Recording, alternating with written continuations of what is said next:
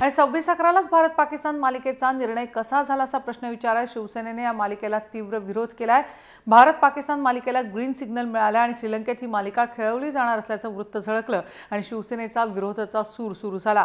शिवसेना नेते खासदार विनायक राऊत यांनी या मालिकेला शिवसेनेचा तीव्र विरोध असल्याचं सांगितलं. ते दिल्ली येथे बोलत होते.